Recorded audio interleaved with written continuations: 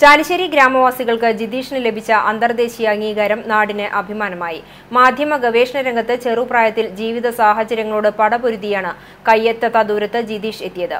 മാധ്യമ പ്രവർത്തകനും ഗവേഷകനുമായ ജിതീഷിന് അമേരിക്കയിലെ നോർത്ത് നോർത്താംപ്ടൺ ആസ്ഥാനമായി പ്രവർത്തിക്കുന്ന tri continental institute for social research ഏർപ്പെടുത്തിയ പന്ത്രണ്ടായിരം അമേരിക്ക ഡോളറിന്റെ ഒരു വർഷത്തെ അന്തർദേശീയ ഫെലോഷിപ്പാണ് ലഭിക്കുക.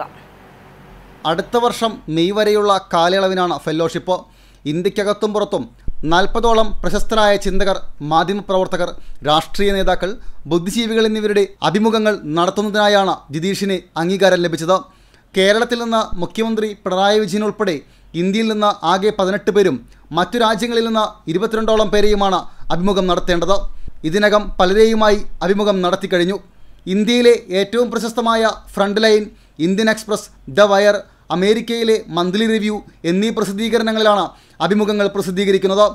ജിതീഷ് നടത്തിയ അഭിമുഖങ്ങൾ ട്രൈ കോണ്ടിനെന്റൽ ഇൻസ്റ്റിറ്റ്യൂട്ട് മൂന്നോളം പുസ്തകങ്ങളാക്കി പ്രസിദ്ധീകരിക്കും. ആദ്യ പുസ്തകം ഡിസംബറിൽ പ്രകാശനം ചെയ്യും.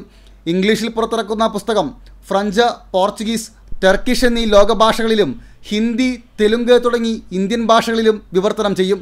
കേരളത്തിലെ ആദിവാസി ഗോത്രപഞ്ചായത്ത് ഇടുക്കി ഇടമലക്കുടിയുടെ ആദിവാസി ഊരുകളെക്കുറിച്ച് പഠിക്കാൻ വന്ന സംഘം ജിതീഷിനെ കൂടെ ചേർത്തത് മാധ്യമ ഗവേഷണ രംഗത്ത് ആദ്യ കാൽവെപ്പായി ചാലിശ്ശേരി ഗവൺമെന്റ് ഹയർ സെക്കൻഡറി സ്കൂളിലാണ് പ്ലസ് ടു വരെ പഠനം നടത്തിയത്.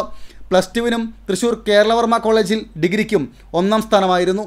കാലിക്കറ്റ് യൂണിവേഴ്സിറ്റിയിൽ നിന്ന് ഹിസ്റ്ററിയിൽ ബിരുദാനന്തര ബിരുദവും കാലടി ശ്രീശങ്കരാചാര്യ സംസ്കൃത യൂണിവേഴ്സിറ്റിയിൽ നിന്ന് ഒന്നാം സ്ഥാനത്തോടെ എം ഫില്ലും കേരള മീഡിയ അക്കാദമിയിൽ നിന്ന് ജേർണലിസത്തിൽ ബിരുദാനന്തര ഡിപ്ലോമയും കരസ്ഥമാക്കിയിട്ടുണ്ട്. ചാലിശ്ശേരി പെരുമണ്ണൂർ കീഴൂട്ട് വീട്ടിൽ പരേതനായ മുരളീധരൻ ജയലക്ഷ്മി ദമ്പതികളുടെ രണ്ട് മക്കളിൽ മൂത്തവനാണ് ഇരുപത്തിയേഴ് വയസ്സ് പ്രായമുള്ള ജിതീഷ്. വള്ളത്തോൾ വിദ്യാപീഠത്തിലെ അധ്യാപികയാണ് സഹോദരി രേഷ്മ. മാതാവ് ജയലക്ഷ്മിയുടെ അമ്മ എൺപത്തിരണ്ട് വയസ്സുള്ള നാണിക്കുട്ടിയമ്മയും അടങ്ങുന്നതാണ് ജിതീഷിന്റെ കുടുംബം. വിജയം നേടണമെങ്കിൽ നമ്മൾ നല്ല കേൾവിക്കാരാകണമെന്നും അങ്ങനെ വന്നാൽ ഏതൊരു പ്രവൃത്തിയും വിജയത്തിലെത്താൻ സഹായിക്കുമെന്നുമാണ് ജിതേഷിന്റെ പക്ഷം. C C T V news Perumpilavu.